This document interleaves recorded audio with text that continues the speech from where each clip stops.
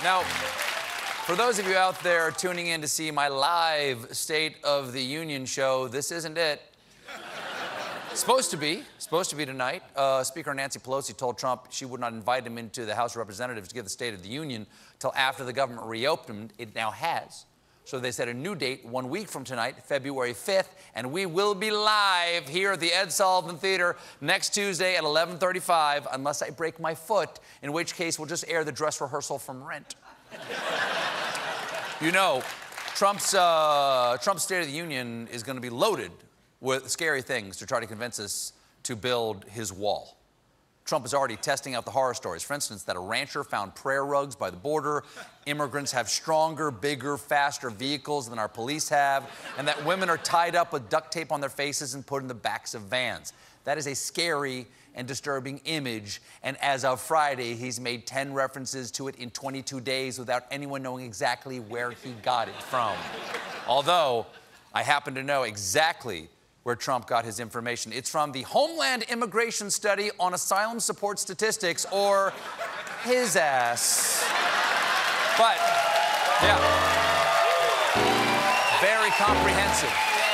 Very comprehensive study, John. study in there? Very comprehensive I didn't read study. that, and I'm not But there was one place where all of these stories actually did occur the 2018 movie Sicario Day of the Soldado, which internet sleuths have realized contains scenes of duct tape women, super strong immigrant cars, and border agents finding prayer rugs. So Trump maybe just got all these ideas from movies. I'm telling you, little boys are sneaking aliens in with flying bicycles. These aliens are coming here to steal our precious Reese's Pieces. We must build a wall out of vibranium slats, otherwise, we'll be overrun by crazy rich Asians. and, and I can't believe I'm saying this Green Books. Green Book, everybody. No, it's true. People don't believe this. Green Book. A lot of people are lining up to challenge Trump, like former Starbucks CEO and oldest high school student at Glamour Shots, Howard Schultz. Schultz is considering running for president as a centrist independent, which is the politically correct term for most obnoxious guy at the dinner party.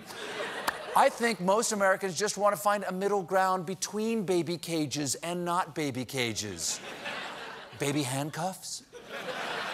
Now, you may be wondering what a centrist independent believes, and you're going to keep wondering because when Schultz was asked what he thought the corporate tax rate should be, he said, I don't want to talk in the hypothetical about what I would do if I was president.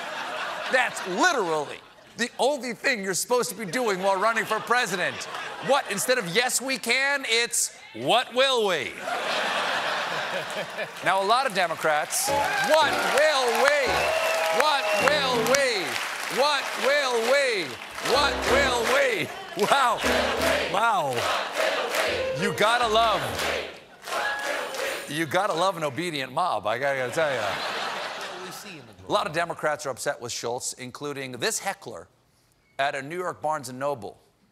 I am seriously considering running for president as a centrist independent. And I wanted to clarify the word independent, which I view uh, merely as a designation on the ballot. Don't help elect Trump, you egotistical billionaire ass. Ah!